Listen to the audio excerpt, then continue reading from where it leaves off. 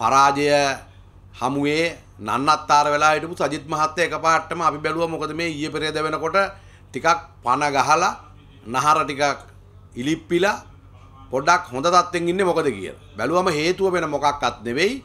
සජිත් මහත්තයාට ඇහෙනවා දැන් රටෙන් තව කොරෝනා රෝගීන් කීප දෙනෙක් වැඩි වෙනවා. කොරෝනා රෝගීන් වැඩි වෙන තරමට තමයි සජිත් මහත්තයා සතුටු වෙන්නේ. මොකද හේතුව දැන් මේ අන්ත පරාජයෙන් බේරෙන්න වෙන කිසිම දෙයක් නැහැ. අගෝස්තු 5 වෙනිදාට ඡන්දෙ තියෙනවා.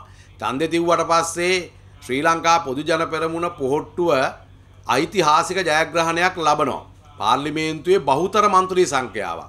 තුනෙන් දෙකට එහා ගිය බහුතර මන්ත්‍රී සංඛ්‍යාවක් ලබනවා. අලියයි දුරකතනයයි මාලිමාවයි තුනම නන්නත්තාරයි කුජූති වෙනවා.